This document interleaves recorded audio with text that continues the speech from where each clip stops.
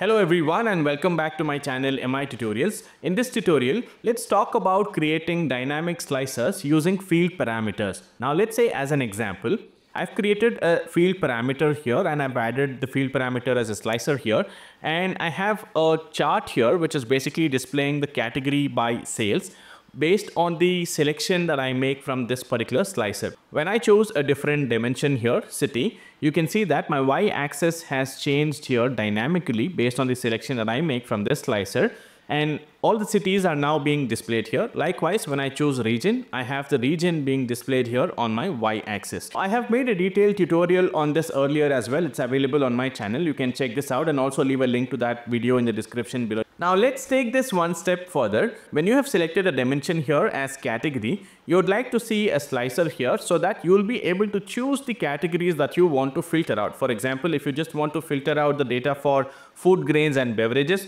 you should be able to do that. Likewise, when you select region, you should have an option to choose the regions of your choice and likewise with the city as well. Now, one of the ways that you can do this is by creating slicers, something like this what happens is that you can create three different slices here one for category one for city and another for region which means that you're adding three slicers into your Power BI report. But my requirement is that I would like to just have one slicer which will again dynamically change based on the selection that I make from my dimension slicer. Now what if I say that we can again make use of field parameters and change the values in our second slicer dynamically based on the selection that I make in my first slicer.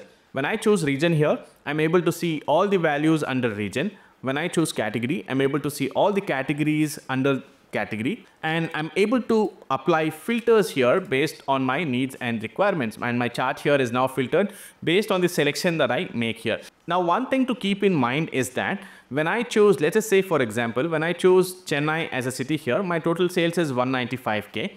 The moment I choose region here the filter is cleared which means that it does not carry forward the filter that I had applied in city. In case if you want to apply a filter to region, to category, to city as well, you will not be able to do this in this way. However, there is a little workaround. When you uncheck all of the columns here from the first slicer, you should be able to see something like this where you have a drop down created now. You have category and then you have region and then you have city. When I expand this, I have region and then again when I expand this, I have all these cities under that particular region.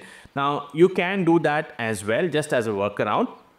I think it's a very neat feature for you to ha have in your Power BI reports. So in this tutorial, I'm going to teach you how to create these dynamic slicers in your Power BI report. So let's get started. So let's go to the new tab and then head to the modeling tab and then under new parameter, I'm going to choose fields. Let's give this a name. I'm just going to call this as dimension. And now I'm going to start all the fields that I want to display in my slicer. That is my category, my region, and then I would like to also display the city.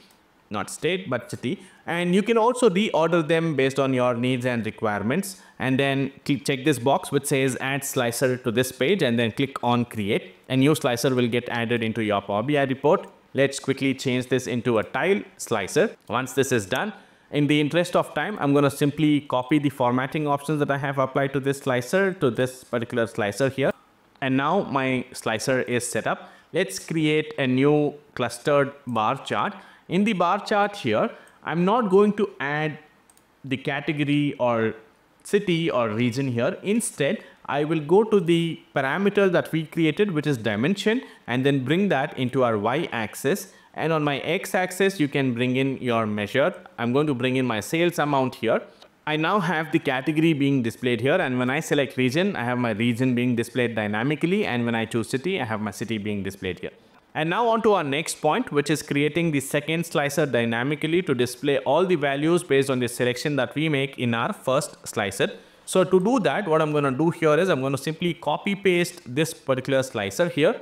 The slicer that I have used here in my demonstration was the list slicer. So let's change it to that.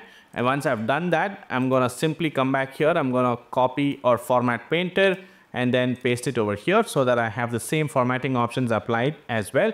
I'm going to uncheck city and then what I will do here is now the problem that I'm seeing here is that whenever I choose category I'm able to see category here. That is not what we are looking to see, right? When I select region, I'm saying region again. That is not something that we are looking forward to see.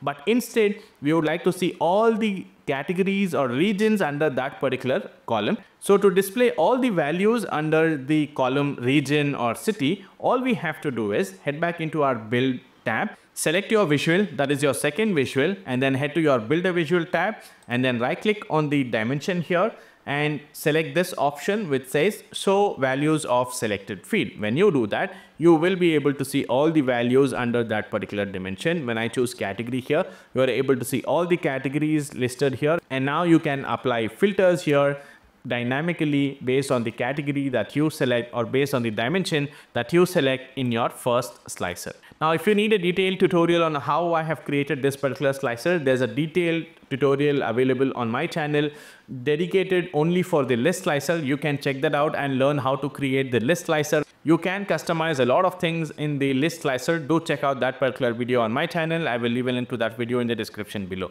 So that's it guys in this particular tutorial. I hope you enjoyed this tutorial. You learned something new today. Please consider subscribing to my channel for more such tutorials.